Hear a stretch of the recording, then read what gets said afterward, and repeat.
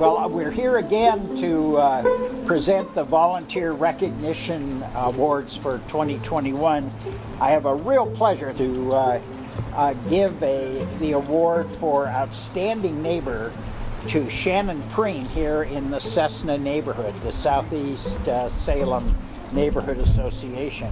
She's a longtime member of the SESNA board and the organization. She served as chair for more than five years. Probably seven now. Yeah. seven? Shannon has been indefatigable in her efforts to bring neighborhood park projects uh, to fruition every year. She's promoted tree planting, litter pickups, SESNA participation in neighborhood school and church events, and SESNA summer festivals in Aldrich Park, which is where we are today on a really windy, rainy day.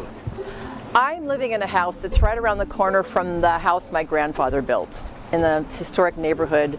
And I love where I am. I love my neighbors.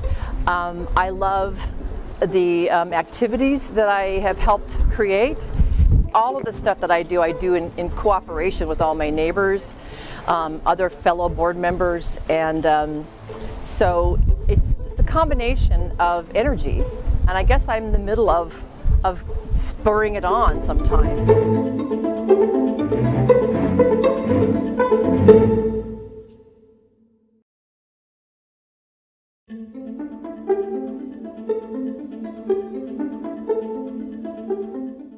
This afternoon, we're going to be honoring Arnaud Verstuyf and Darrin Brightman for work they did in the SESNA neighborhood as outstanding neighbors in a really outstanding neighborhood association.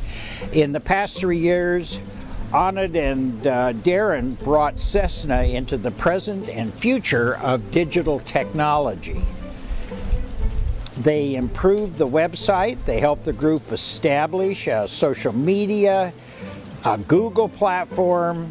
They also set up Slack, another communication channel. They have been very busy. It's uh, fantastic. Uh, well, both of us saw a, a bit of a, a, need to, especially with the, the COVID pandemic, um, being able to get in touch with neighbors a lot more difficult if you can't meet up face to face. And we decided to really leverage free or low cost uh, electronic alternatives. When COVID started and Johnny came up with all these ideas to do more outreach to people, um, get get them better informed, but also um, learn what people living here needed. Um, I was all in with the idea to, to set up uh, those systems and make it happen.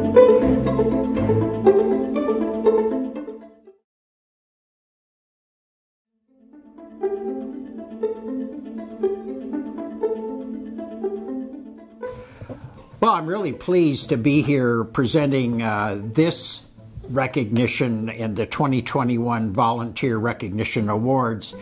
It's to Steve Van Pelt. Uh, it's the Outstanding Neighbor Award. Uh, Steve was a member of the West Salem Neighborhood Association, and he tragically passed away in July of 2021, descending from the summit of Mount Jefferson. Today, Accepting the orden is Adam Schaefer. He was a very good friend of Steve's. Thank you, Adam, for, for joining me today. Steve served as chair of the Diversity, Equity, and Inclusion Committee, which later became the Welcoming and Inclusion Committee. He helped write a diversity statement that is still included in the Neighborhood Association's monthly agendas. Steve was bilingual in Spanish. He designed, in English and Spanish, printed, and distributed throughout West Salem a Welcome to the West Salem Neighborhood Association poster. He suggested and had started a building, a pack and building a packet to welcome new residents to the neighborhood. Steve, who always wore a big smile, was always helping others, whether fixing a car, building a house, or sharing his love and knowledge of the outdoors. Civic duty and civic life were really important to Steve. And it was a way to express his love for others and for himself was to help others. And that's what he did all the way up till the end. And I'm really proud to accept this award on his behalf, even though it's really hard. And I'll try to remember not the award, but what he did to earn this award as I go forward as well.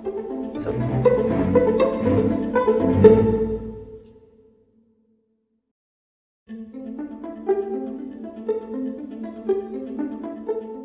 We're out at uh, Minto Island Park and uh, we're going to be honoring the volunteer park patrol with the Salem Spirit Award. Uh, since the inception of the patrol of in 1993, the talented and devoted volunteers of Minto Brown Island Park Patrol have given a tremendous gift to the residents of Salem by creating and maintaining a safe, healthy, and friendly atmosphere for all of us to enjoy. Patrol efforts include assisting lost park users, which you can have happen here out at Minto Brown, mm -hmm. uh, clearing fallen branches from trails, which happens out here at Minto Brown, mm -hmm. uh, reminding dog owners of leash requirements, which happens way too often out here at Minto Brown, and reporting flooded trails or unsafe conditions to park staff. This group donated more than 2,000 hours over the past year. They were able to continue working through most of COVID because of individual nature of their volunteer duties.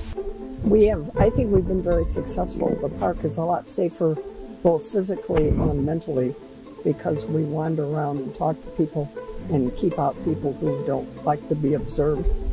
And we also report all the problems like the the trees that are falling and the leaves that are landing on my head, and um, anything else that's a problem. Um, we try to direct people to services. We no longer have any um, homeless people out here because we direct them to services so that they get help.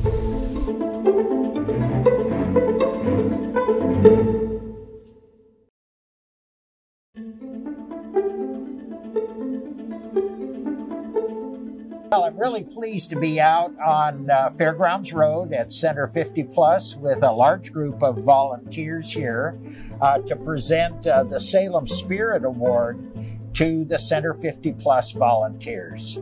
Uh, not even a pandemic could uh, stop Center 50 Plus volunteers from contributing to the community. 165 outreach volunteers 40 Friendship Brigade volunteers, and 55 friendly callers. Pen Pal volunteers reached out to 1,200 seniors each month with a call or a personal letter. 100 seniors received a daily or weekly call during the pandemic. Many volunteers sorted and packed 8,000 food and necessity boxes for the 40 volunteers who acted as delivery drivers. 14 members of the Canine Corps made dozens of one on one visits and group visits to seniors and their pets. Center 50 plus volunteers turned out in short notice for yard cleanup after the February ice storm, and they spent days cutting and hauling debris. The center could not do what it does without its amazing volunteers. Being a volunteer at Center 50 Plus is such a great reward.